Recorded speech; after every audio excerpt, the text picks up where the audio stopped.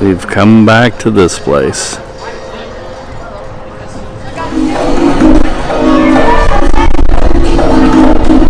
Almost. I made two points.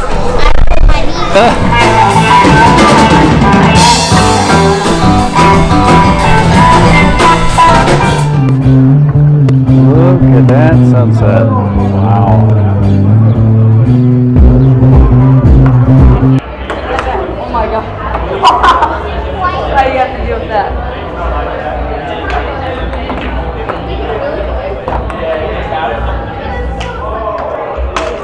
The kiddos are having fun, I think.